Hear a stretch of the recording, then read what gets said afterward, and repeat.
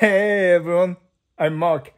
I want to introduce this app called Wake Up. This app allow you to order breakfast anytime in the morning, afternoon, late afternoon, after midnight, anytime. What you want to do is just set up the time that you want to wake up. And when you get notification and when you wake up, there's food in front of the door. And I just received my notification. So let's check it out.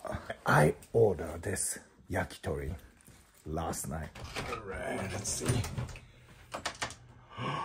my God. Oh my God. My breakfast. let's see. Let's. Oh my gosh. I can see it. I can see it. Oh my gosh. Yaki. Wait a minute. It looks like there's some piece missing, but oh my gosh, there is a yakitori! Oh my god! It's savory, it's sour.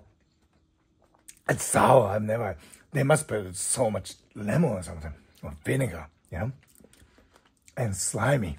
Hmm, I've never eaten yakitori like this. Wake up! 一服